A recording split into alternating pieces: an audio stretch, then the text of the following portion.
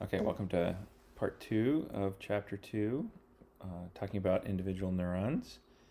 And now we're going to try to figure out how to simulate uh, individual neurons on the computer using what we know about the details of the biology. To situate this, I just want to start off by reviewing our uh, detector model. This is uh, one of the models you'll look at in this chapter. This receiving neuron will look at, you know, receive these different input patterns and respond to those input patterns. So here we see a pattern of neural activity in the input. Uh, the height of the block represents the activity of the neuron.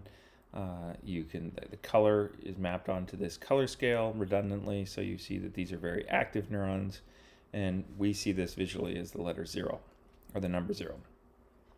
And we keep going, blah blah blah blah. The neuron is unimpressed with all of these various digits, and finally, there at at uh, the number eight, it finally gets activated, and you can see that the receiving neuron went whoop and it says, I like that. I've detected the digit 8. Great. Isn't that exciting? Well, why did it respond that way? This is really the most important point that I want to emphasize. The neuron responds and detects what its weights have encoded about the input. We see the synaptic weights, the patterns of synaptic connection from the, the input sending neurons to this receiving neuron. And again, they're in the form of the digit 8. That's why it responds to the 8.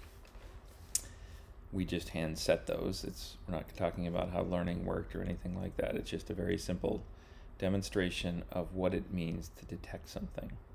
And so essentially what that means is that where there is a high synaptic weight, the receiving neuron receives a lot of excitation, it gets very excited, and the total amount of excitation is shown in this GE value. Um, and you can see that that's very high. Um, that means the total excitatory conductance is what GE means. And if we go to other cases, now in the input we're seeing the digit 9, that does not give it rise to as much excitation. And that amount of excitation remains below the threshold for firing these action potentials, which is what this act variable represents, is the amount of firing that this neuron is exhibiting. So this is fundamentally the process of detection as it is exhibited in the neurons that we're going to be using in the course. And our job now is to understand what are the equations that we need and that real neurons essentially are implementing to perform this process of detecting.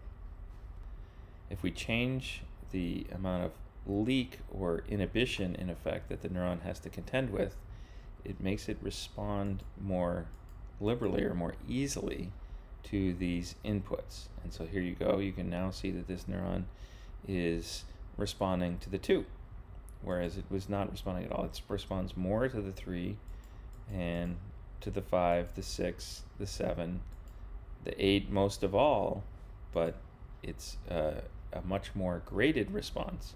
And so, again, going back to this notion that we talked about previously, the response of the neuron in real brains is typically much more graded like that. It encodes something like how eight like is the neuron, not necessarily this really high threshold things of saying, oh, I'm only going to respond when I see an eight and nothing else.